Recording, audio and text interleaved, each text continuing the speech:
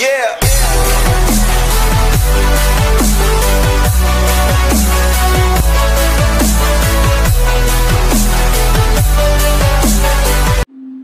Happy birthday!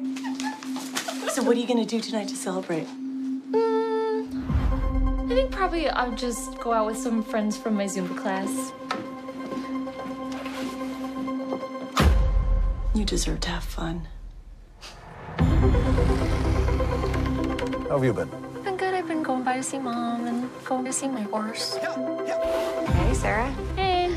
Brian's new roommate is single. Hi. I'm Darren. I really like your dress. I Like your shirt. There's something so exciting about you. You're a lot of fun. You deserve to have fun. You're uh, Oh. Are you okay? I don't know.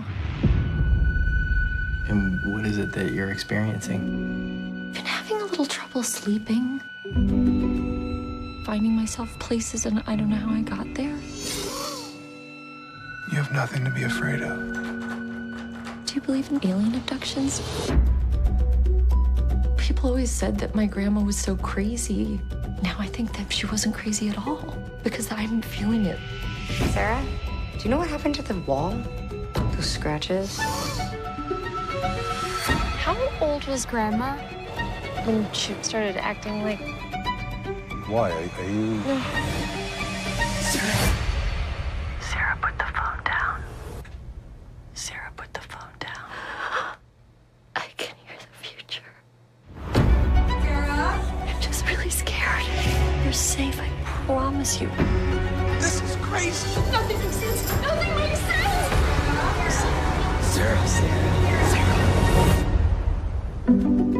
I know that it sounds crazy. Okay? I know it sounds really crazy, but it just feels really real.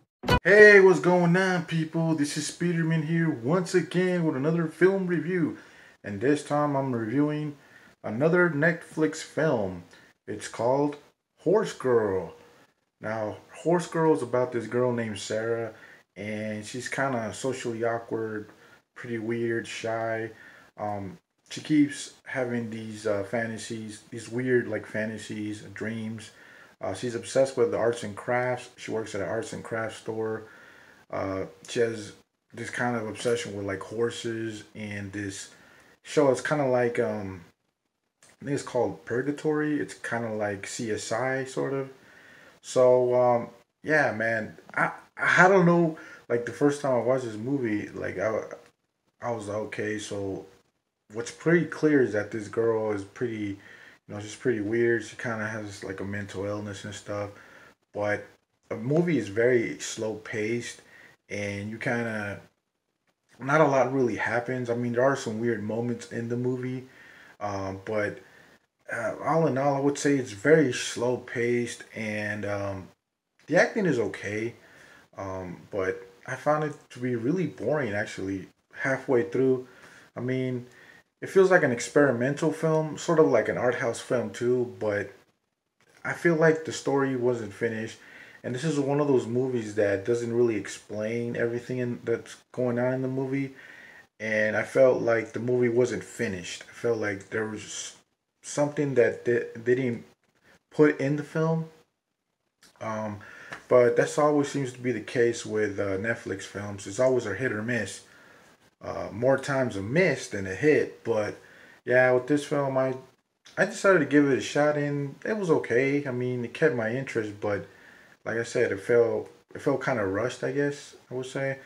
And there's been plenty of movies like this one done before, but I think I think the effort was in the movie, and I don't think it gets all the. I think it's a little overrated because a lot of pe- people say, "Oh, this movie is pretty good." It's different. It's definitely a different film, but I don't think everyone will will enjoy it or will like it. Um, you kind of have to be into these sort of like weird, slow paced uh, type of films. But I thought it was average, you know, and for that, I'm gonna give this film a five out of ten because it was okay. It was nothing very original here, but I seen worse, you know. So yeah, guys, that's what I thought about Horse Girl. Anyways, guys, don't forget to like, comment, and subscribe. Tell me what you guys thought if you've seen the movie. And share the video, alright? Peace.